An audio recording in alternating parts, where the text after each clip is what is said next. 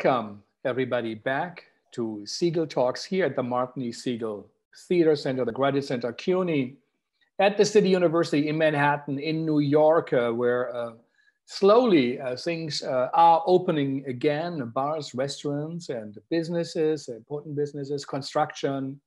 And of course, with lots of question marks, uh, uh, crowds are gathering outside after that long lockdown, but a lot, without mask, without paying attention perhaps to uh, the distancing, um, but it's understandable after this long, um, long, long time of confinement. Um, but it's full of uh, uncertainties. What will happen? The uh, immunity is about 1%, one thinks, of people who have had it. 70% is needed for herd immunity. And uh, there are uh, uh, many signs from countries that reopen that numbers are going up, uh, even uh, in America. Even so, some politicians say no, it's just because it's testing. Pence said that yesterday, the vice president, but um, there are indications now this is uh, still, we are not over it. but on the other hand, life in a way has to continue. Theater, of course, is suffering. There's no end in sight um, for the end of the year uh, and also next spring. We do not know what will happen worldwide as we hear uh, in France uh, uh or Italy, very in Germany, uh, spaces open up slowly with 10%, 20, 30% of audiences, lots of outside work. But um, um, we do not know what theater uh, will be like, uh, look like, uh, what we can do and what not. So many, many, many artists, especially in America, out of work. It's not a great system. It's compared to many what we hear online. It's actually devastating. No Ministry of Culture, no support. Eight, nine months ahead, everything canceled for musicians, dancers, theater makers, performers. And uh, traditional uh, revenue incomes like working in bars and restaurants also don't don't work. So we really uh, uh, are still in a, a moment of um, of great great uncertainty, and uh, we need to find out, as Jean-Luc Nancy, who was on our program, the philosopher, said, what is the value of the value of human life? When does one take into account uh, that there will be casualties, one not, and uh, so um, we, we really do not know, but we heard very, very encouraging, moving, and significant contributions from theater makers around the world, around the globe. We have now over 90 artists almost who were involved in our Segal Talks. And today we come uh, to an important part of the world, Asia. Um, play we, at least in Europe and America, do not know about. Uh, it's uh, not as much on our radar as it should be. Uh, all that uh, energy, innovation, tradition, long, long tradition, and everything, but especially in theater and performance, dance and puppetry. So uh, today uh, we have two representatives who have uh, dipped their toes into the New York scene a little bit. Govin Ruben, hi Govin, and uh, Terence Conrad from Terry and the Cuz, the company that somehow is a bit, we'll tell about moving between Australia and Malaysia and um, they are part of our, our uh, international lineup today. Yesterday, we had the great uh, Peter Schumann from the Bread and Puppet Theater with us, who's in Vermont. Normally 80, 90 people are on the farm. They are six or seven now, and they make small performances in the forest. Once they use 20, 30,000 people would come to their to their uh, uh, shows. Tomorrow we have uh, Tania Bruguera from Cuba, a significant an important uh, artist, as theater artist, performance artist, socially engaged artist um, who defines activism and art and the space in between uh, as the most significant what we can do. Also things you can't sell, you can't buy, but it makes a difference in the life of people and how to, and to create meaning. We have Hope Azeda from Rwanda on Thursday who will tell us about the situation in a country that has survived terrible, terrible times, uh, civil wars, atrocities, genocide. And now uh, Corona is there. What does it mean for a theater maker? And Saman Amini, a theater artist born in Iran, moved to the Netherlands and uh, created work there. And um, it will tell us a, a, bit about that reality. But now we really focus on uh, Malaysia, on uh, and Terence. So first of all, thank you, thank you for taking the time to, to spend with us. Uh, what time is it? It doesn't look like uh, noon. Well, it's uh, 12 uh, p. Uh, well, 12 a.m. now, uh, so it's uh, basically uh, Wednesday morning in Kuala Lumpur. Yeah, we we should be fast asleep, but we stayed up for this talk. Yeah. Thanks for having us, by the way. Especially after, you know, it was such a great lineup of Peter Schumann, Tanya, uh, Hope Azeda, and, you know, we, we, we felt like the weird odd ones out. So we thought we better stay up for this. Yeah, no, no, it is uh, significant, you know, for us to know about what perhaps is a little bit more unknown. Uh, um, I think once it used to be Eastern Europe, theater in Poland and Hungary and uh, or Romania. Now we know a little bit more. Worlds have come closer together. But now I think it is also Asia that is uh, perhaps a bit more and should be more um, uh, on our radar. It is a continent, of course, of, of, the, of the future and the work, and also an incredible, great, great uh, tradition. And uh, Hans Thies Lehmann, who wrote the great postdramatic theater book, you know, uh, when it came to, to Asia, they said, that's great. Yeah, there has always been like this. We have puppets and movement, sounds, words next to each other. You know, that's a, great that Europe is catching up, you know, on what we are doing, but good to have it written down in a book form. So you guys, tell us a little bit um, before we come to your work. Um, are you in confinement? Are you in lockdown? What is the situation in Malaysia when you go out tomorrow morning on the street? Well, um, Malaysia has opened up. Um, so we we started the lockdown on the 18th of March, and it was a pro, you know sort of full proper lockdown. You could not travel uh, five kilometers away from where your residential address was. Uh, this lockdown, there were four major stages. Um, each stage was about two to four weeks, depending on which stage it was. Um, and uh, it was pretty harsh. So there was no interstate travel. There was only certain supermarkets you could go to, and um, uh, everything was shut, of course. And um, and then what happened is, um, as of the first of June, things started opening up a bit. Um, and then um, now, basically, the sort of a, what they call a conditional movement control order where things have opened. So you can go to restaurants, you can go to cafes, um, but everything is operated at a sort of 50% capacity, the sort of social distancing guidelines. And, um, and, and, you know, um, and so the only sort of things that are sort of still shut are, you know, sort of massage parlors and theaters. So it's a great company. Theater uh, finds itself in. I think also by our Polish friends said that at TIA Warsaw that the government made sure to write in one sentence, massage salons and theaters will be the first one to close and the last one uh, to to open. And, um, and provide really great excitement and enjoyment for everyone, and relief and yeah. stress and all of that. Yeah, but there's a connection. It's about the body, and um, one is a physical massage, one is a mental massage. Yeah, yeah, that that is um, that is true. So in France, uh, people had to print out permits. In Italy, you could only go from your home to the next supermarket. So even five kilometers seemed to be pretty liberal. Did it work? How is the situation? How many infections and death? Well, today, well, we initially, when we started it on March 18, we were. Can you come a little closer so we don't hear so well? We had, we had about 200 infections almost a day and around 150 to 200 infections a day. Mm-hmm. And uh, they started reducing the conditions and liberating uh, for for people to go out more once it started dropping below 100 as of today over the last week we've had between 5 to 11 cases a day. Really? And, yeah and uh, and it's been very well monitored and controlled until today. And yeah so most businesses are back but there's still um, everything's operating at 50%. Wherever you go, you need to register. Every business needs to take your temperature, get your uh, your your. If you walk into a restaurant, you walk into a supermarket, you walk into to get your haircut, they need to take all your details. Uh, they sure. take your temperature if you go into a business. Yes, they go. So they have take, a heat sensor in the at the um, entrance. Yes, yeah. some places even take your photograph together with your temperature while some places just take your your details and your, and your with, with your with your national ID number. So this is like an Orson Welles' sort of wet dream. So every the, everybody uh, there's information about everyone that's recorded down who's going where. So this will help with the tracking. If in case there's a new case, they can literally identify where the cluster starts and who's exposed to it. So it, it's so they will be able to track and and quarantine people in case there's a new cluster. So that's what they've been doing. And so far, it's been working very well for us. Hmm. So that's uh, that's quite uh, stunning. So kind of an Orwellian uh, surveillance uh, state where the human is uh, like almost like made yeah. of glass. You can see everything what he or she does, where you go, what you do, and it's controlled, can be traced.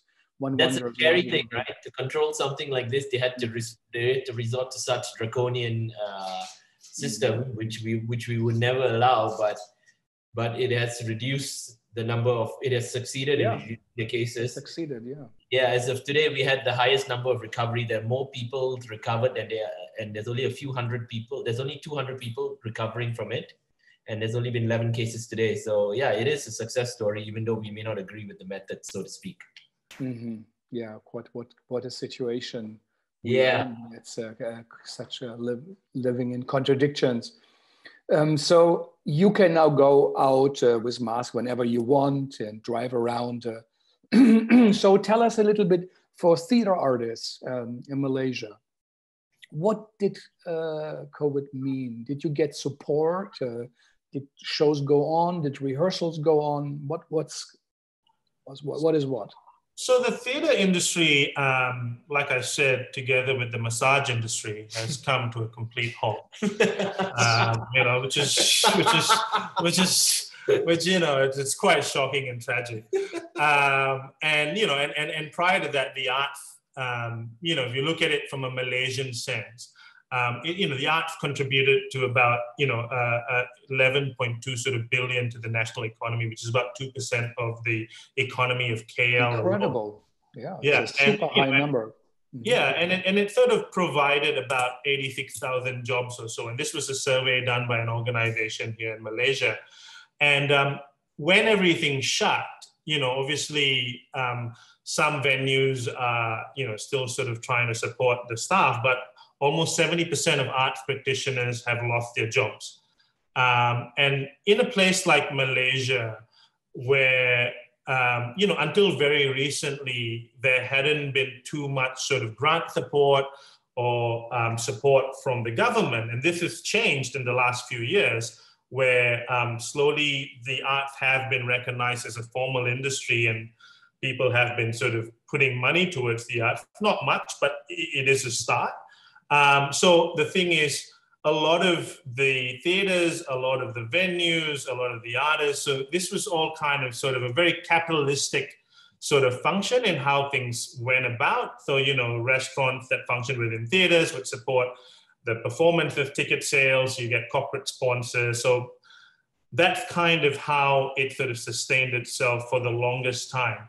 And because of the pretty much the a complete halt of any sort of performances, um, these incomes have not been able to flow, and therefore, um, of course, you know, people have literally just stopped and have been living off savings. There have been lots of initiatives um, that have appealed to the government to now kind of try and support artists. The Malaysian government has come up with a couple of schemes to sort of help not artists, but to help sort of Malaysians to kind of cope with what's happening. And I think, you know, the artists are sort of lumped with everybody else. And, um, um, and, and so this is sort of what's been happening um, uh, to the art in general. Um, yeah, so it is a pretty dire situation. Um, I think um, obviously everybody is still looking to see how uh, we come out of this and, and also you know, it'll be very interesting to see how many companies actually survive or you know you know be able to start again um, and some companies have started running online donations and online funding campaigns to sort of help sustain their venues. You know, they've had buy a seat program, and people have been supporting, but you know, it, it's it's nothing compared to uh, what is actually affecting the entire industry. Um, you know, at, at, this particular stage. Mm. So um, uh, at the moment, are there any theater performances? Is anything going on you're aware of? Nothing. There's no. one, of the, one of the main uh, rules of this uh, of this control movement control or which they've done recently is that uh, there's still no no gatherings of people above 20, which is still not allowed uh, they've not they've only begin and uh, religion is a big part in, in malaysia so even uh, religious places are now only being opened So no theater, no performances, no entertainment outlets, nothing. Complete zero still. So you can't go to the church, you can't go to the mosque, you can't go to temple. So everything is sort of, you know, any any places where you can gather is still pretty much shut. Um, and so that's kind of what's happening. Of course, um, I think a lot of artists have sort of responded and taken some programs online and have been kind of performing uh, and creating online content and sort of diversifying and kind of adapting. But um, you know, I, I, you know, we can't speak for how successful that has been in terms of financial re- re- uh, remuneration. Um, so yeah, it, it is a very you know sort of a, it, it is a hard time for most artists in Malaysia, and and therefore um, you know and but the good thing is and, and this is the one sort of I think I don't know if you can say or you can call it positive, but because um, this has sort of become uh, this point where suddenly everybody um, can see the flaws in the system. Everybody can suddenly point out that, oh, look, this isn't working. We've contributed this much, but there haven't been any formal support. And we've been doing all of this with corporate, private support. And but yet we are contributing this much to GDP. And so therefore, for the first time in a long time, there has actually been very open discussions from the industry personnel and members of the government, like right to the top. So uh, very recently, there was a meeting with the Ministry of Finance and arts practitioners, something that was almost unheard of five, six, seven years ago. So this was um, uh, you know, imagine a group of artists being able to sit down with the Secretary of Treasury of America and sit down and go like, we need art mm. funding. And therefore, um, I think what this has pointed out is a significant lack or gap in, in the support for the arts. And, and therefore, the government have now heard, you know, um, and, and, and have seen where these, these gaps are. What becomes of it, we don't know. But it is a start in kind of pointing out, look, this is the areas in which we need support. And these are the numbers to prove how much the arts in Malaysia, and the arts in Malaysia is not just performances, it's crafts, it's handicrafts, it, it's sort of traditional performances, artisanal products, and you know, so so it, it, it is a huge range that actually contributes to the cultural economy of the country, and it also sort of puts us in this sort of unique sort of um, place where um, you know we are a tourist destination. And i think when people come the art you know whether it's through song whether it's through traditional form of dance and um, uh, and performances that there are lots of cultural shows that happen. Um, and also you know the contemporary theater scene. But i think the the tourism industry has really suffered from this and we do make a lot of money from tourism uh, as artists. And a lot of artists um, actually uh, um, are kind of contribute to that sector.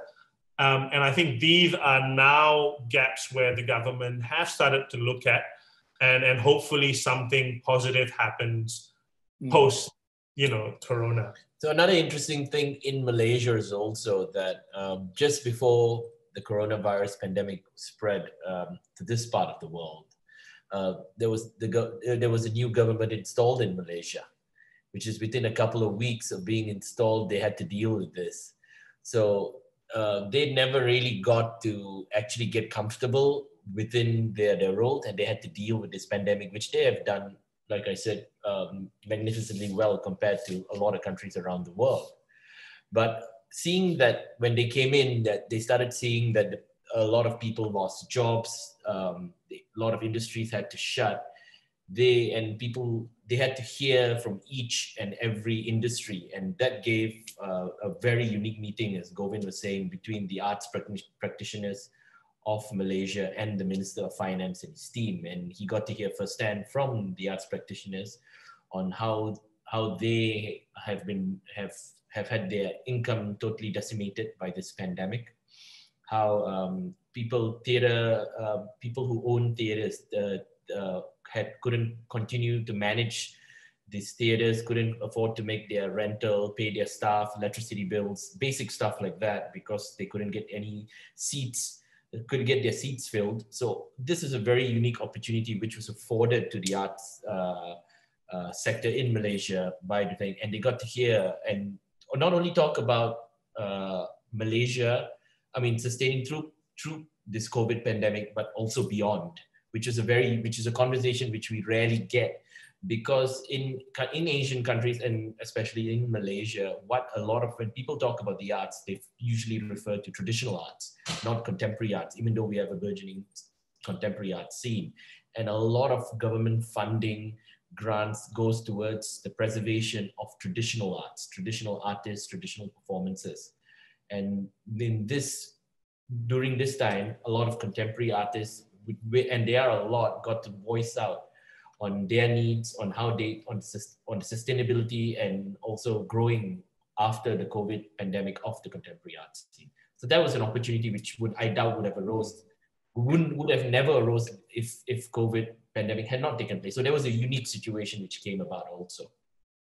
Incredible, incredible to hear that you used the word magnificent. Uh, how your government reacted um, here in America, of course, is a devastating thing. The richest country in the world is not able to do uh, what Malaysia um, is achieving. Of course, different circumstances, you know, 5 million people take a New York subway every day and all of it, but still, you know, it's just stunning um, to see how forms of government really make a difference. And the same is also for theater, forms of theater, the way it's produced, supported, also produces results that are different. We are looking at, you know, what what contribution theater makes and what works and how um, it should go on. For you as theater artists, how did you experience this time of um, of lockdown? What did you do? How what did, how how did you deal with it? Well, I think um, you know when it comes to we we in a very very unique situation, Frank. Um, in, in a sense, and I know this sounds funny and a bit uh, insane, but so we, we like to call ourselves storytellers, right? And, and, and we told stories, and that's how we started. And, you know, like most stories, most of it start in comedy. And, and so that was how we started 10 years ago. We, we made comedy and, and, and we, we started doing quite well. And, um, and, and very soon there was lots of companies that basically said, could you do something for our Christmas party or do you, you know, can you do these big dinners and whatever not? And, you know, whilst we never put our name to that formally, those were sort of projects that they call corporate projects that then paid you a significant amount of money that then sustained you to do your art projects. And for a lot of companies in Malaysia, that's kind of how it's always been sustained. Um, but um, one of the things that happened with one big project that we did very early on, uh, Terry very brilliantly said we should use the profits to start an industrial laundry. Um, and so we actually started an industrial laundry. So as a company, we, we, we, we sort of wash clothes for hospitals, hotels, and gyms. And, and that business sort of grew um, over the. It's a pretty simple business. Dirty clothes come in, we wash, dry, and iron and send it back out.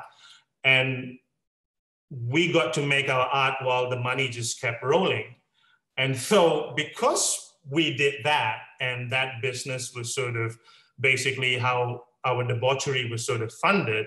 We got to do whatever we wanted to do and try out whatever we want to try.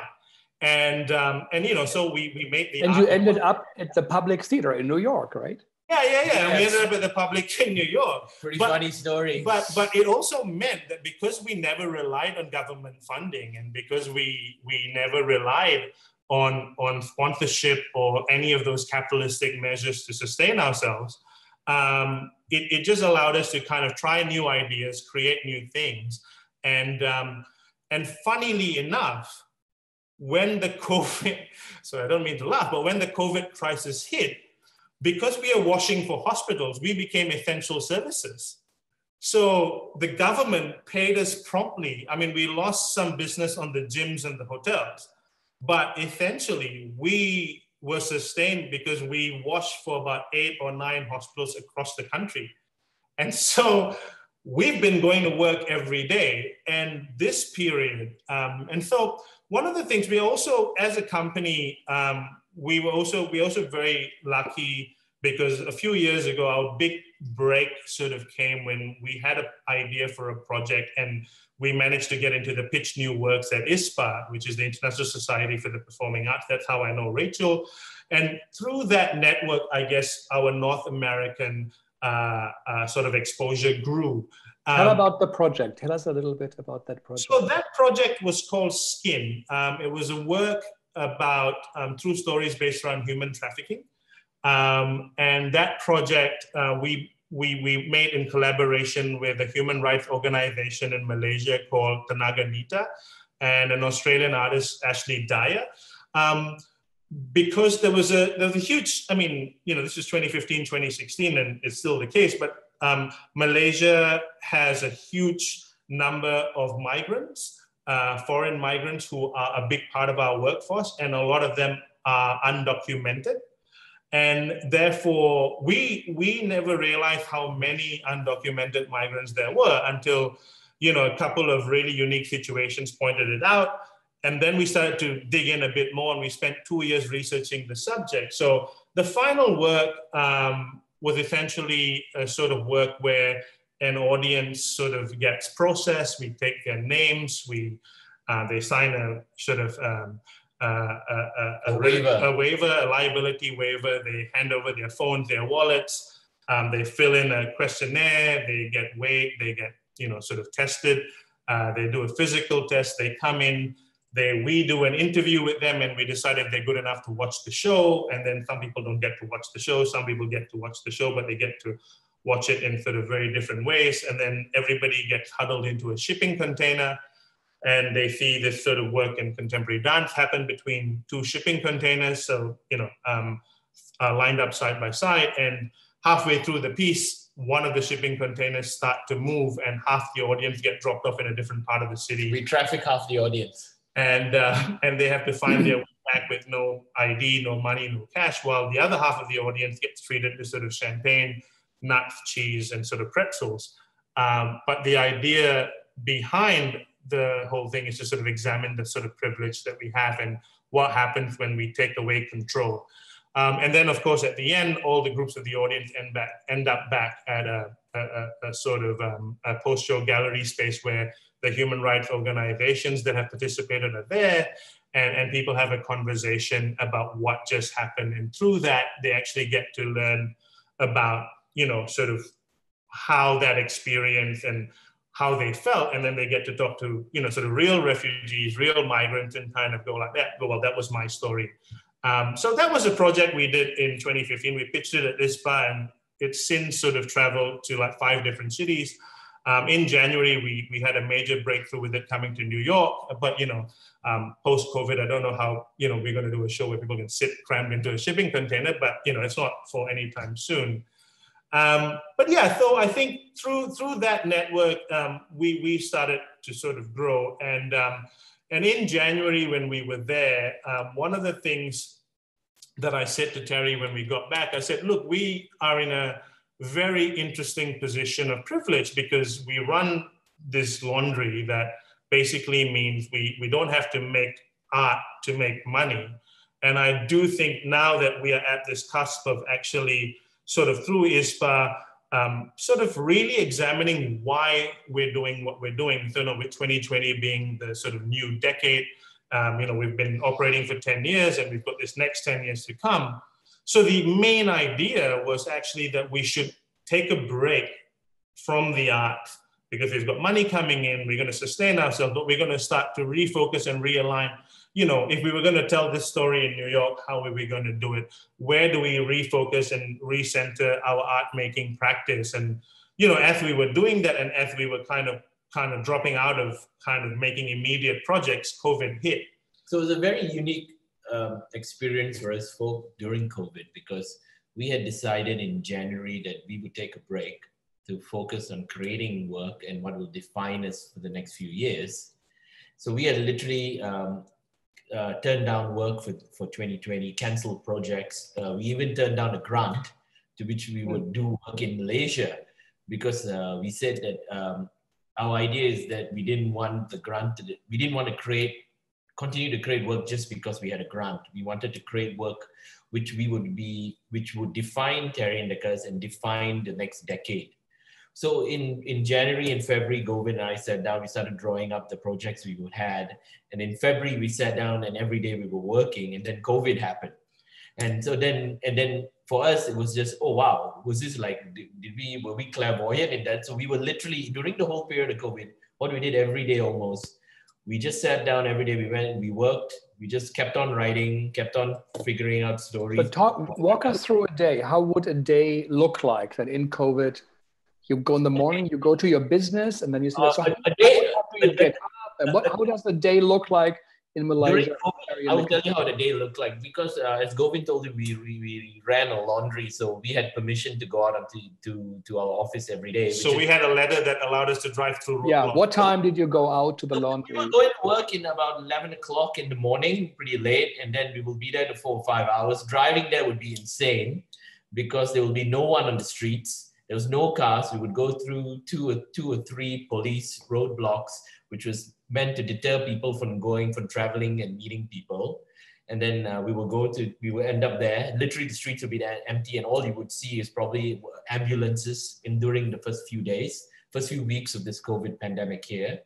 And then we will work for about five to six hours, just uh, drawing up structures, talking talking on what we wanted, uh, like this story, like. Oh, so you went to the laundry business. That's yeah. your art office is there. Yeah, office is on top. You watch people working, and you work yeah. inside. So we, we, it's a two-floor factory, and the top floor has sprung floor, so it's a rehearsal space come uh, open space office. So out, if, we, if we do rehearsals there in normal times, it'll be after five when the laundry staff have gone back, the office staff and then we move all the, the chairs the and it's a big um, many people did, when we when the first time we came to new york and we were in the public and telling everybody about this nobody believed us until they actually came to malaysia and they wanted to visit the laundry and the office so if anybody's watching this, you're ever in Malaysia, you're welcome to come visit us. Yeah, yeah. Yeah, you can watch us work, and yeah, you can come. We'll we'll be grateful to meet anyone from anywhere in the world who's here and meet new friends. Okay, our but, audience, yeah. let's uh, all go and visit uh, Yeah, come to Malaysia. We'll take you around. But the main aim of it was that. Um, we continue to work through it because uh, we you have papers at the wall. You you yeah, literally brainstorming, and on the you, table you have photos. We, so what are you thinking about? What were you thinking about? We were, we were using even a Monopoly set. You know, the Monopoly set has all the different pieces. So yeah. we, were, we were using that to, to like, okay, with this characters to work on movement. Like we, we use anything we could get our hands on, like uh, everyday stuff, you know, and it's okay, we, we need to define each character. So that we were using this to, we drew a room, like the stage on, on, on, a, on a huge ping pong table and we were working on movement and all this. So every day it can it, it can be it can be structure. It can be just us working on movement, language. It will last a couple so, hours so, until until until we got mentally tired. So to answer your question, Frank, at the moment, what we're doing is um, we're we we're writing a new play, um, and this uh, this play was basically an idea that we had for quite some time, and uh, recently uh, in New York in January, we, we managed to meet some really interesting commercial producers who saw our work uh, at the public. So, um, so it's a, it's, a, it's a potential commercial endeavor that's going to start off Broadway whenever that is. So, um, whilst nothing is confirmed or happening or moving forward, we thought we'll just finish up the structure and get going with the script. Can um, you talk about that? What the idea is, or is that too early? Um, well, it's sort of still hush hush at the okay. moment. But, but, I'll give you a gist of what it is. It, it is playing with the audience, um, uh, playing with the audience literally. If if they hear something, and if they see something which are in contrast, which would they believe? So if you were to tell somebody you did something, but they saw somebody else do it, which would they believe more? And is hearing more powerful than seeing? So it, we are playing with a lot of ideas in that sense. We don't want to give away too much, but uh-huh. the idea is the idea is if you hear something first, and then later if you watch it, which is something in contrast, which will stick out in your mind more. And literally, we realized, and we've tried it with people. We actually did it, and we realized that it, it depends. That whatever you hear or see first sticks with you. So it's a very unique uh, yeah. experience for yeah. people. So long story short, uh, to sum it up maybe in a log line, we, we're basically, uh, it, we're trying to reinvent the who done it. So it's, it's, it's a murder mystery that um, actually happens to a, you know, it, it's set in Manhattan. It's about a New York family that you know and it's a it's a very diverse cast so it's sort of you know the the, the protagonist white male he's married to you know asian person there is uh, the you know african american cop there's also the mexican housekeeper and and so we, we're basically trying to have a conversation about the american cultural structure but again within a whodunit and to also kind of really complicit the audience into kind of going like, what are your sort Your of biasness. what are your biasness from when you see what you see, what you hear, what you assume. So that's you know based on you know, which is also sort of a bit about what our show at the public was about, which is called Made in America. It's about this idea of a country that's actually made up of so many subsections of cultures of people and you know and, and you know like even going to new york it's, it's a really fascinating thing for the two of us when we first came there like you know you, you take you walk two blocks to the to the to the to you know uh, uh, uh, to the north and suddenly you realize it's a whole different suburb it's a whole different community so you know and and everything is so subsection that is very interesting so i think you know um, and and you know that's the idea. I, I think the the, the the, thing which affected us the most is that, especially when we came to the first time to New York in America about five years ago. Yeah, 2015. 2015 is that uh, a lot of people don't realize, uh, Americans don't realize is how much of their culture is is exported throughout the world and how much we people understand from the music to the arts to the poetry to the movies to to even um, even to the politics, to the social dynamics, which we all we all we, which we consume on a daily basis, basis through news, through social media, through the newspapers, you know, through through entertainment. And uh, when we get there, it, it, it, it, it, is, it, it, it really feels to a certain extent, which is quite interesting. It, it's, it's like heading back to Rome, you know, like like mm. thousands of years ago, you knew Rome was the center, you know, and, you, yeah. and everybody knew what Rome was. And when you got there, you go, oh, wow. You know, and that was the kind. So the, this next show also further explores that idea and through a through a racial social uh, perspective on, on what we see, especially from the outside. Because sometimes a lot of people don't get out what, what we see. So we thought, and many people found our views on stuff, especially on the show we did, especially in the in the show we did in the public. So uh, once that was very, I mean, it was accepted, we thought, oh wow, we should continue down this route to explore that. And also, it's it's that also very interesting thing, like Terry was saying, this idea of Rome where you seek sort of validation, like you know, like you know, like Chris Hemsworth was not really Chris Hemsworth until he did Thor, or you know, Cate Blanchett became Cate Blanchett after Elizabeth, and sort of. So I mean, you know, with all due respect, like amazing actors in their own right in Australia or Malaysia. I mean, you know, wherever they are. But people people come to America to seek fame, fortune, in this idea of the American dream. You know, and I think that's very interesting. Like it's it's insane that I know that Rick Perry is the energy secretary, but I don't really know who's the energy person in Malaysia. Mm. Like you know, like and and you know, or or or you, you're really upset about Betsy DeVos's education policy, but you kind of go, oh, who's the education minister in Malaysia? But because you know we consume so much American news, and you know, case in point, and this is something that we said, you know, it's so unfortunate that one African American had to die in Minneapolis, and the whole world is protesting. Like if that person, you know, if that happened in Australia or happened in the UK, the impact wouldn't be, but anything that happens in America trickles down to the rest of the world, which is why also there was this insane, you know, leap of excitement and hope in 2008 and this sort of great despair in 2016, because I think the rest of the world have this sort of invested idea for America to work and I don't know why that is, or, but mm-hmm. it's been the greatest marketing campaign since the 1950s. Just after World War II, America, through popular culture, it's the same reason we, we shout for Rocky against Ivan Drago.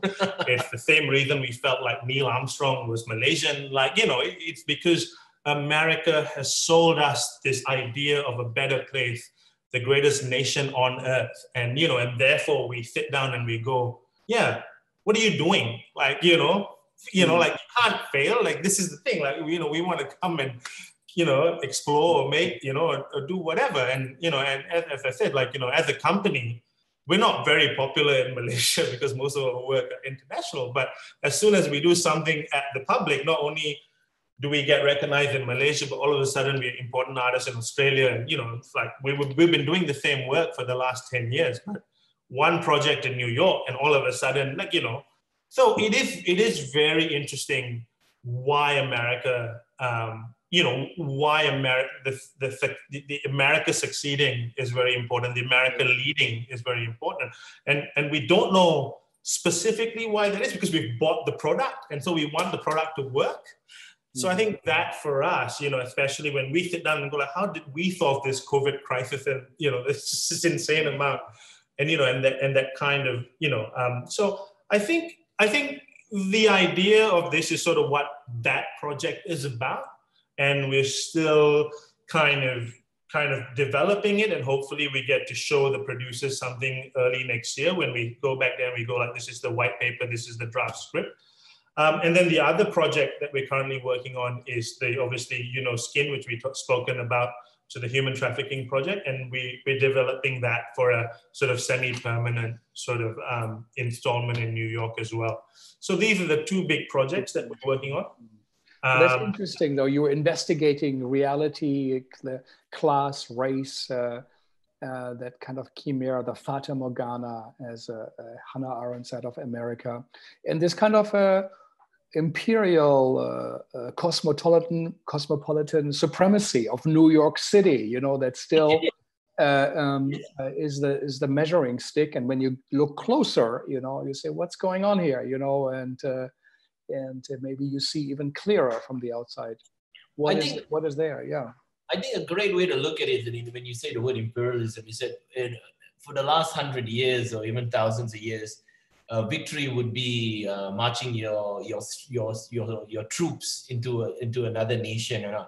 Today, in the world of in today's world of capitalism, it's when your music, when the McDonald's or Starbucks opens up your corner, and and and you don't know what is the local culture anymore. Is, is that that's what you said, right? I want to have a coffee in the Starbucks. I want to have a McDonald's burger, and you go it doesn't matter which part of the world you are that's what you know mm. and that and that's when that's when you know they have conquered the world or conquered you know a country conquered the mind i think you know yeah and, yeah and there's something to, to be said for local culture i mean it's a big world and there should be a starbucks next to a traditional coffee shop or tea house I think there's uh, many many rooms but how, how tell us a little bit about theater you said we are not so well known here Tell us a little bit about the theater scene in Kuala Lumpur. How does that look like? How is it organized? Who goes? Yeah. What are the companies? Okay, so um, so the, the thing is, Malaysia is a very complex country when it comes to sort of cultural diversity. Mm. So there's sort of three major racial groups. So um, the Malays, um, they are uh, they basically so the Malays uh, make up about 70% of the population. And then you have the Chinese, who are about 26%. Um, uh, sorry, about tw- yeah, uh, 19%. 19%. And then you've got the Indians, who are about 6%. And then you've got sort of like other pockets of races. So again, similarly, the theater is divided into those sort of language streams as well. So there's Malay theater, and this is divided between traditional and contemporary. Um, traditional may take up many forms of sort of puppetry to sort of Malay, you know, traditional classic Malay style bangsawan theater, they call it. Um, sort of poetry, sort of, um, you know, and also different styles of music. And then there's contemporary Malaysian Malay theater, which sort of uses a bit of uh, blends between traditional Malay and also sort of contemporary Western theater and styles or techniques. Uh, and then you've got um, traditional Chinese theater, which is sort of anything from Cantonese opera to sort of um, Mandarin plays. Uh, and then also you have Indian classical uh, and sort of Indian contemporary. And then, of course, in urban areas like Kuala Lumpur and Penang, um, there is this sort of uh, pockets of contemporary English theater. Um, you know, and and and and and when when I guess anybody comes in to Malaysia, I think that sort of to, to tourists, to expats, to sort of the urban communities, the contemporary English theater sort of what gets the most sort of eyeballs and whatever not. But that's very um, city specific, urban specific to Kuala Lumpur and also maybe Penang up north, which is the other big city. And then they're sort of little pockets. Um, very recently, um, over the last 10 years, of course, the contemporary scene has started growing. Um, so obviously this, you know, with the internet and so on and so forth, and with marketing and then sort of theater becoming, so what used to happen in the sort of mid 90s, uh, late 80s, mid 90s, um, there were very few full-time practitioners. So there were people who'd be lawyers during the day and then theater performers in the evening. But over the years, um, it's become more and more a sustainable industry because there's been a growing audience, which, as I said earlier, capitalistically sustain the industry. So more and more younger people, um, as, as, Malaysia sort of evolved into a, a, sort of a more of a higher income society, um, uh, more I guess younger people could suddenly, you know, perform or act because they've, they've got sort of uh, families to support. And so lots of people, so diving into the industry had sort of grown, the industry started to grow. Um, theater, uh, theater courses started appearing in universities and all of this happened in the sort of late 90s, early 2000s, and it sort of grew. So as of now, there's a good about 50 or 60 sort of really interesting contemporary theater companies um, that occupy the city area and a lot more sort of cultural organizations and and and and societies that sort of do classical performances. So that's roughly the diaspora. Um, and then, of course, there are the big venues that then program the smaller companies, and so that is also a business. And and in and since 2011, nine or ten, um, Malaysia started its sort of first big international arts festival called the Georgetown Festival, uh, which is in Penang. And so that was started uh, as part of the, when Georgetown, which is the city up north, was awarded the World Heritage status because it was a heritage site. Um, and with that UNESCO heritage status, they decided to have an arts festival, which actually grew into one of the biggest, most vibrant festivals in the region.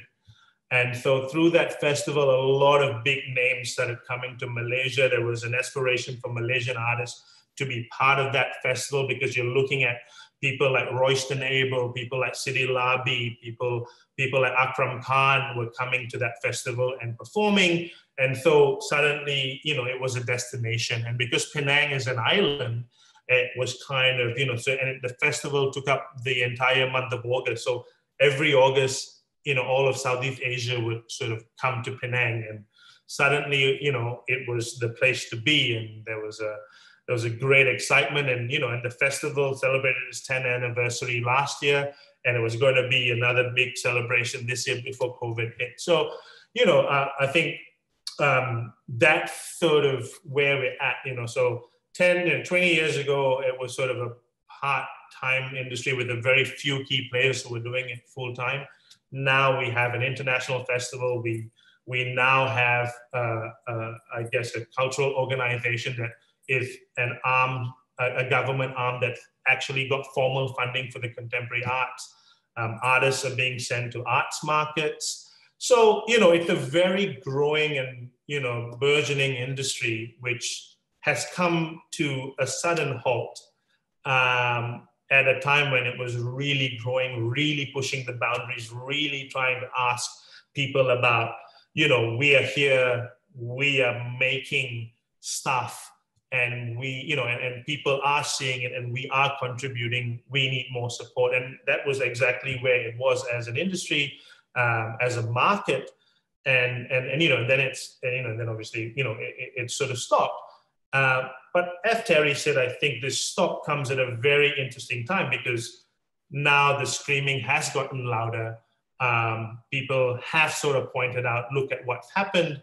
And I think this new government that has sort of taken over in the last few months are actually, I don't know if they're paying attention or not, but they've taken meetings. Mm-hmm. That's so, amazing. Yeah. Yeah. Such yeah. a vibrant uh, energy that's so fast, a, a, change towards theater and performance, which is a good sign for any society, you know, when it flourishes, when it is respected, when people go, something is working, enjoying life, celebrating life, joining joyfully in the suffering of others, as we say, why theater is important. Yeah. And um, and um, so we, we, all should go and uh, visit Malaysia, come to the Georgetown Festival, see your work, and not perhaps just focus on our European uh, um, uh, knowledge of where to go and you want to do theater. Both of you, um, you have, a, I think, a connection to Australia, and that, that's where you went to school. But tell us, why did you want to do theater? What moves you? What keeps your motor running? Why theater and not just the laundromat? Well, well, you know, I mean, I don't think you can be cool laundromat people, um, you know. Uh, but no, I think so. Uh, sort of my personal story is I was doing law, and my mom said, "I'm not paying for a law degree that you're going to half do. So if you want to do art, go to a proper art school." And I went to the Victorian College of the Arts in Melbourne, and so that was kind of where my Australian journey sort of started. Um, but I had met Terry in when yeah. I went to college before going to Australia. And like I said, we're storytellers and we used to tell funny stories to each other all the time. And then suddenly I sort of went to a theater school and, and I, you know, sort of learned a couple of theater tricks. When you want to go to a theater school, you go to Australia? Uh, well, it was cheaper than going to the UK or the US because the Australia. But there's nothing in Malaysia where you would go or in. Well, at that time there wasn't a a, a formal course whatsoever. Yeah, at that time. So this was early 2000. Uh, there was nothing which you could go and say, look, I'm going to go study acting or I'm going to go study at this course. There was nothing at that point which which uh, which had been formalized in the education system or any universities. Today, there are a lot of uh, universities and colleges which do which do offer courses in the arts, from directing to writing to acting. But back then, in, in when we when we when we finished our O levels and uh, we're coming out of uh, high school, we literally there were options with either you you go find a job or you go study which is something reputable. Unlike think, that, unlike that, I had to study to be an accountant. So it was it was a very very to tell to tell your families and your friends that you wanted to do the arts was literally saying, oh, you're gonna be a bum for the rest of your lives yeah. literally. So it was a very different mindset back then when we first started. And literally, that is not so long ago, right? That is. Yeah, yeah. I, I'll, I'll tell you a really funny story. When we first started putting up our shows, I was working uh, literally in, in, in, for this uh, for this company and uh, i would every time my boss would sneak out govin would be waiting in a cafe downstairs I will run down. We will start writing scripts and everything. And then he will call me and say, Where are you? And I'll say, I was in the washroom. I was out and I'll run back up, go do work. And then I will come back down within half an hour and continue writing together with him while he pieced the story together. So it was, it was, uh, it was such, and we thought, look, we would start doing the shows. We will do it, we will do it on the weekends and after work. And then literally we ended up at the public theater yeah, seven yeah. years later. So you asked. I mean, I, I, think turned out we were quite funny. So I think that was a good thing, and I think uh, you know people started liking what we were putting out. But I Some, think, someone did ask me once, like, how did you get started? I said we have no idea. We just did something we were passionate about.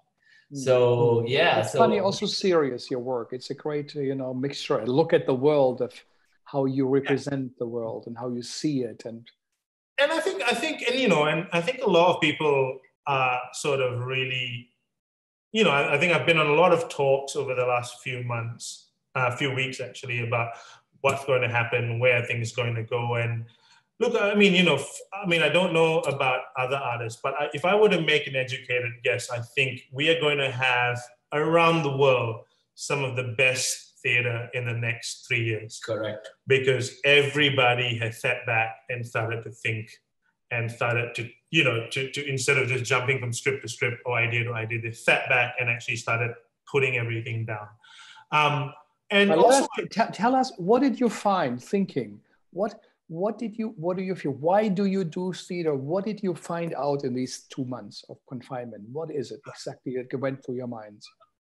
A very interesting thing is that people ask us to say, like, how are businesses going to survive? How are theater companies going to survive? How is arts going to survive?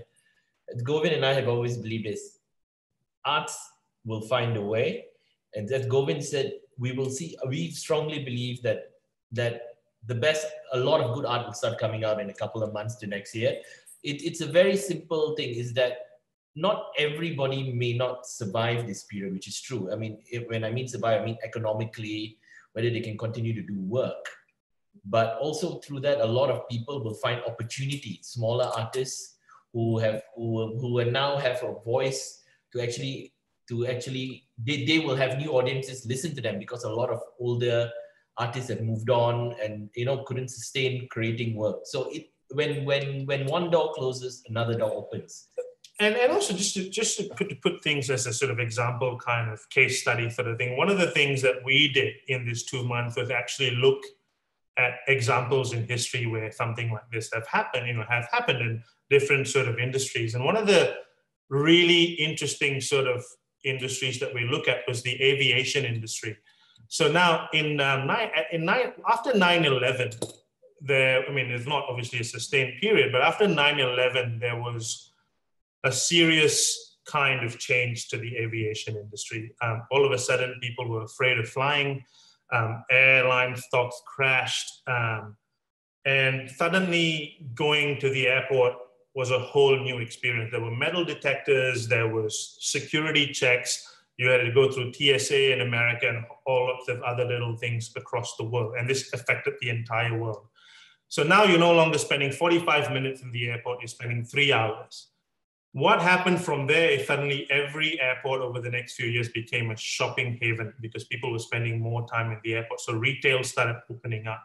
One of the other things that sort of also happened is the budget airline industry. All of a sudden, people were flying without baggage, without, you know, without food. So the airline industry had to adapt. So, you know, people 10 years on, people were flying more than ever, but you had created a very different kind of consumer someone who didn't need any of the frills, someone who, you know, so some airlines went down. Some airlines had to do all these tiered economy, whatever, whatever. And some airlines just, you know, was like, you know, Ryanair or EasyJet. So, you know, I having baggage became a luxury, so you didn't have to go through checks. So we, what what it did is it afforded opportunities for budget airlines, and so a lot of things changed overnight. And I think so. I think you know, looking at that case study, it was a very interesting thing because it, it, you know, so whilst this may seem like a dark and gloomy period, actually, it is a very exciting period of what art might look like in a few months. And I think we've spent a few years, and you know, I think we've spent the last few months really thinking about, well, if we do this show or any type of work from here on in, like, what are we missing? What is the new consumer going to be like? now my dad knows how to watch things on his phone. He never knew how to do that. But now he watches YouTube videos and online streaming things like nothing. So you you've got a new consumer that you've got to compete with. Like, why should I come out and pay sixty dollars for something that you know I can watch Netflix at home? So there are lots of these new questions which are coming up, and there are lots of grants that are coming up from different countries about digitizing, making things more whatever, which are all very responsive. But I think a lot of artists, some have jumped onto that opportunity, some have started using that to kind of create online archives or whatever not. But one of the things that we also firmly believe in is that there is nothing like live theater as well, you know, which is, you know, if you look at the airline industry, the big people still want to fly. People still want to fly in luxury, and there's nothing like sitting in business class or whatever you want to call it. You know, so in that thing, you know, like you know, no, no, you know, no online thing is going to beat seeing Pavarotti sing live, or you know, no virtual picture is going to be like seeing a Picasso in front of you. Or you know, no sort of online video is going to look like a Pina Bausch company does. You know, and therefore, I think people are always going to go to live events but what we're going to have to deal with is like a whole strata of society who have now become consumers of content. And that, nevertheless, you know, you're looking at somebody's got to create that content, and that is the artist. So there's going to be a whole lot of new content, a whole lot of new artists creating newer kinds of works. That means the older, more established artists or whatever not are going to have to look at that and kind of go not top that or whatever, but kind of respond to that and adapt to actually, you know, which is what is so exciting about you know, when they find the vaccine or whenever that is, and you know, we can all go out without a mask and make out again. Um, you know, that is what is, you know, so exciting for us. And we sitting there, okay, do we want to be part of that excitement or not?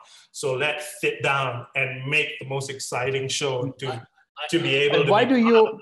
To come back to that, why do you do theater? Why do you? Why do you do it? What's your goal? Why do you do it?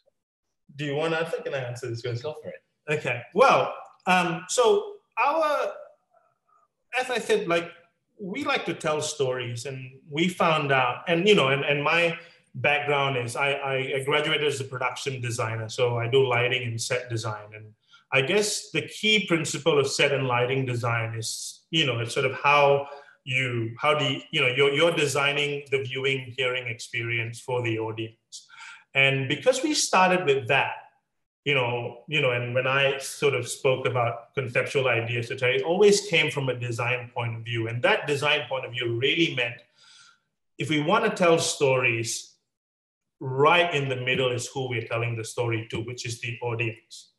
And when the audience wants to hear a story, you does you know genre doesn't matter. It, it can be art, it can be theater, it can be song, it can be dance, and and it can be how you place them, where you place them, whether in a shipping container, in the middle of a cafe, or in a bar, or in a black box theater.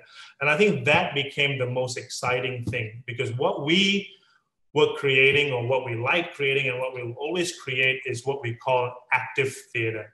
Um, that's a term that we coined, but essentially what it means is that we want to activate the audience. So you're not passively sitting and watching something, you're actively involved where things happen to you and around you, and you're immersed in the story, and it's being told in a 360 degree sort of viewing pot. And I think when our audiences come out and they've gone, you know, and they go, I've never seen anything like that, or I've never heard that story told in that way. Like, I think that's sort of what makes it so much fun and why we do what we do.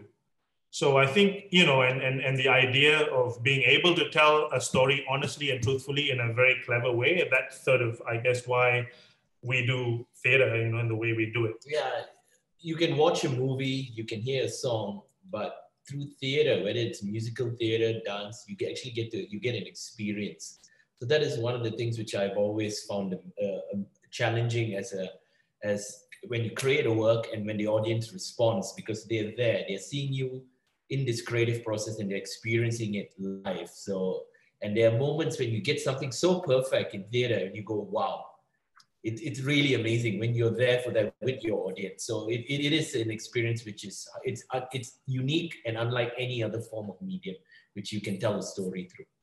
Is is your political is it political theater what you do or? Uh, no i think well look I, I always keep telling them whether it's a work about human trafficking or whether it's a work that questions the form of government. I think yes the works have sort of crossed those lines but we always just call it you know we kind of do it through humor so you know whether it's an observation about america whether it, whether it's about interviewing you if you're good enough to watch my show i think there is everything we look at I think, you know, like some, I think like our favorite art form is stand-up comedy. And, you know, if you look at, you know, if you look at com- comedians like Chris Rock or Dave Chappelle or Jerry Seinfeld, I think there's some really poignant, you know, interesting social observations that if you break it down, there's really interesting political and social commentary. And I think using that, uh, we always feel humor is disarms disarms a lot of people, but also because a lot of our work, as I said, because the audience are the center of what we want to create around, it always sort of encapsulate them, their fears, their inhibitions into the project. So you know, so for something like that to work, you've got to not just appeal to one or two, you've got to kind of actually include everyone in. And I think humor often is the best yeah. way to do that and I don't think we are political at all. I think we, when we decide on a story, it's because it's a, we think it's a great story and we have a unique way to tell that story. And people can say it's political, they can say it's funny, they can say, but I think it comes down to the heart of our challenge is telling a good story and finding a good way to, to, a unique way for the audience to experience that story. That has always been our challenge and, and in, in whatever endeavor we, we undertake to speak. It's um, it's a, a quite quite powerful. You know, let's look at it closely to say use humor, um, create a story audience enjoy the experience that is as you call an active theater that they are it resonates with them and that you say be independent as you guys do you know work with the governments and try that it happens but uh, uh, um, be independent so you can really do what what you do. Is the joke would be you live above your circumstances. You know your laundromat is your circumstance but you live above it but in a good way. And yeah. uh, and that you um, um, also you know point out that um, uh, in a way it is an engagement in a world that has a business related um, um, um, side and the idea of stand-up comedy which is interesting because it's an individual experiencing the world in a very individual way you and it gives you a very unique very private often intimate moment painful moments and uh, but they are funny and they are honest and they are often quite quite uh, quite disastrous stories and um, but they're and everybody gets to access it as well i think that's one of the things which we often pride ourselves on like you know to be able to that our work is accessible to everyone to everyone and that's something you learn from also i think from that multi uh, just, multi background community. Yeah, excuse me. Yeah, and I was just saying, I think one, I'll tell you one really quick story about accessibility, which is one of my favorite stories. So when we did SK!N, um, one of the things, you know, was a, it's an insane show for 60 people. We had to close down roads and, you know, we had to talk to the police to block stuff and because there was a truck that was going to drive through the city and so on and so forth with a shipping container. And one of the things so we tried to, to to to you know get discounts and wherever we can because when we first produced the first version there was no funding and then you know we had to put it all together so um, basically to get the shipping container and the 40 foot container and the truck driver we had to go to a logistics company that was in a port uh, about 45 minutes outside Kuala Lumpur. And we had to explain to the owner of the port that we wanted his driver, uh, an empty container, um, and we wanted him to come at these particular times and whatever not and and you know and they did some math and they said it was going to cost 12,000 ringgit which is about 3,000 US dollars for the whole period and in Malaysia what you have to do is you've got to write a check for 50% so that you know we gave them a check for 6,000 ringgit and of course the driver came and you know and we did the rehearsals and whatever not and of course, for opening night, we, we invited this guy to come along, and he's never been to a theater show in his life. He doesn't speak much English. He speaks Malay and Chinese. He comes with his sort of uh, his, his wife, and they you know they sort of dressed up like they're going to the opera because they thought it was this, this this show that was a theater show and something that the elite upper classes do, and so they came very well dressed um, and of course, you know, they were put through the ranks and they had to do the whole thing. And, you know, the wife and him were separated, separated. He had the champagne and the pretzels. She was on the truck and, you know, he saw how his truck was being used. And at the end, after the whole kind of experience talking to the human rights orgs and whatever not, you know, you know, he, you know, this is the guy who's never seen any theater. You've thrown him into a truck, seeing contemporary dance and he looks at me and he just gives me a, like a thumbs up and he says, oh, very, very, very, very good, very good. And then he leaves. Um, you know, and then we don't hear from him for about a week. And then I come to the office and one morning and uh, one of the uh, our admin admin staff basically says, "Oh, boss, there's a there's a there's an envelope for you, and it's from the company." And he returned our six thousand dollar deposit. He said he didn't want to take any money. Hmm. So he said he was like, "Yeah, yeah." And he, there was a little note saying, "Thank you very much. No need money," and he returned our check. So you know, so, you know, again, you know, something must have happened for yeah. this person to be able to access that production. And for him, you know, a businessman, never been to the theater, to, to hand back a check yeah. and said, and literally, uh, thank you very much, no need money. That was his no. Mm. And so I, you know, we sat there and you go, that that was better than any newspaper review, that was better than any Facebook post, that was better than any kind of thing. Because I sat there and went, you know, this is something that you can do and you know and, and i think for a long time i think the arts often um, sometimes you know they, they, they fail fail to include and they fail to give access and you know and, it's all about the exclusivity and who goes where and you know whether you perform this venue or that venue and so on and so forth. But i think at the end of the day it comes back down to the audience and the people that you actually want to connect with uh, and the people you want to tell these stories to. Uh, and i think as long as you've got good stories people will want to hear it in whichever way or form which is why i think the arts will survive and i think that's going to be you know, it's going to be pretty exciting few years. What a great, uh, great, uh, great story. Also, the idea that you define the driver and the company as your audience, that you want them involved, that they understood what you did. And it was about human trafficking. This was a serious, a serious work. And as you said, with modern dance, I saw a bit of the, the video, uh, conceptual modern dance with it. So this is, um, it is really uh, stunning. Like Peter Schumann yesterday, who said, we did our shows in the early 60s in Spanish. We performed on the streets, uh, Puerto Rican kids had to go to Vietnam War. The mothers asked us, they commissioned him to write a play or to do something because they saw them. And he said that letter was said, we regret to inform you. The mothers got those letters that their sons had died. And I said, we of course did it also. We had interpreters. That was our audience and nobody cared about that. And that why it says the show they did most, uh, the most significant one they ever he felt, perhaps they they ever did. And by the way, interesting the laundry and bed sheets and hospital. He said he got uh, uh, I don't know if you saw it. He got uh, yeah, from the old hospital, yeah, from the old, old, hotel that broke down, and now he's painting on the bed sheets that were. Uh, most probably came out of uh, some laundry, so there is some connection to uh, that whole COVID experience we're having we are having here. Thank you guys. Really, I know we just scratched the surface, but I think this is important work, what you do. There's an important culture. And I think something produces the mixture of it and the mixture of Western influences, US and European, but your own traditions, your thinking, your new approach to it, and being trained in Australia. So this is exciting and great, and the world should pay attention. Rachel Cooper said from the Asia side, you have the this world has to be represented. It is such a big part, and she's so very right. And I'm glad we, we have you have you here with us. And um, like world music is significant. Every musician yes. listens to music from the world to make his own music. And we theater people in performance, we have to do the same. And we really have to listen. If we learn anything in the Corona time, that it is the time, as you say, to study, to go on the break, to listen.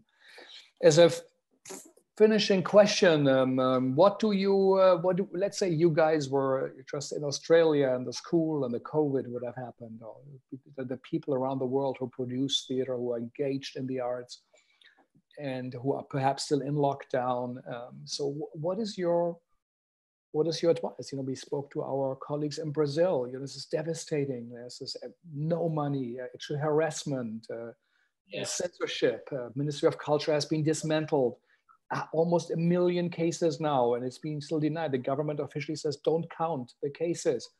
Um, what do you say to artists uh, who are engaging in a way the world as you do and say we want to tell stories, but how should they use this time and what is of importance? How should they? What does it mean? I think it's very important that they continue this fight. What is being pushed on them, censorship, to not tell, to continue to tell the story so the rest of us can hear it. That is the job of, that is our jobs, is that to continue to ensure that our stories, our experience get told.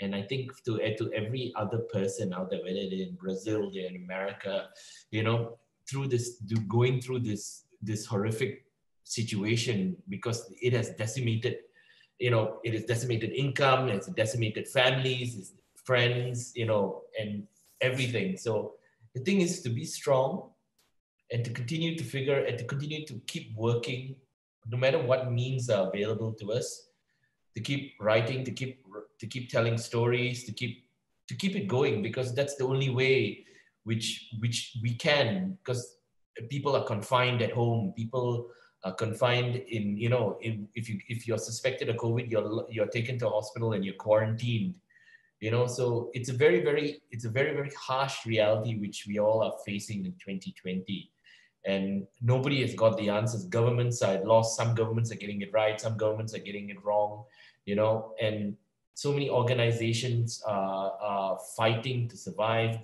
So the thing which we keep telling people when when we talk to artists, to organizations around the world is is keep keep fighting, keep telling the stories, and we all have got to adapt. And nobody has the answer now. We wish we did, but it will there will there will come a time when we all we all will want to hear the stories because that's what we are chroniclers and and if I can add one other thing, which is something that personally happened to me, I think, I think this is also an unprecedented opportunity to actually get to know yourself. You know, when you spend so much time in isolation in your own house, you start to notice, you know, sort of your arm fat down there. You, you start to notice that, oh, you know, this is how your hair grows. And you start to actually look at yourself and kind of you get this opportunity to question everything that you believe in that you thought you believe in because there's never been a period of time where you've had such intense investigation of self and why you do what you want to do. And i think if an artist gets to use this time to actually look and you know if if say for example your government is doing this and then you're like why are you upset with that? Like what is it about what they're doing that really pisses you off? You know is it just because everybody's pissed off? But why is it that you are pissed off? You know the, the ability to understand that to understand why you like you know using your knife in your left hand instead of your right and it's a really interesting thing but you go like well why is that and i think the more you can start to understand yourself and why you're responding to things in very particular ways, I think that is going to help you tell more original stories. And also, it's going to help you really send out a story from your unique perspective of why these things upset you. And I think if people can latch on to that, then I think you create a movement. You know, I think with the very, very sad case of George Floyd, I think what we saw on that video was basically what we all started the questions why are we upset with that what about that video was so upsetting and that everybody had an individual reaction to that moment and that individual reaction started a group reaction which started a national movement which now started a global movement.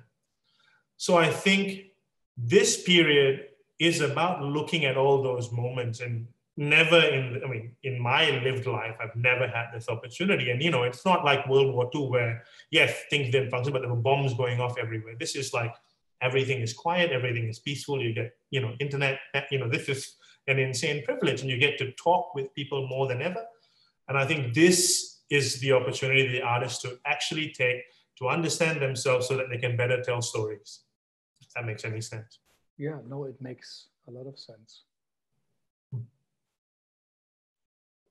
Yeah, and um, and something to really consider know yourself and get to know yourself. Observe. You have your body, and you can observe, and then from the uh, individual experience to your community, to your city, and then from your country, and to and to have a global consciousness while acting and working locally. So this is a really, really um, um, important to hear from you.